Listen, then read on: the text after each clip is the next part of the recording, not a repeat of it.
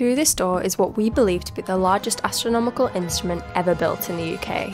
Welcome to the Crawford Lab at the UK Astronomy Technology Centre, where you'll find MOONS, the multi object optical and near infrared spectrograph. This powerful instrument is soon to be shipped to Chile and fitted onto ESO's Very Large Telescope, following a 22 day sail over 7,000 miles of ocean. Unlike other spectrographs, moons can gather the optical and near infrared light of a thousand astronomical objects at the same time, allowing us to better understand the properties of these objects. It works by capturing light through optical fibres that are precisely positioned by 1,000 small robotic arms and transferring this light into a giant cryogenic vessel where it's separated into different wavelengths. These are then projected into detectors that process the light of stars or galaxies and reveal more about their hidden properties.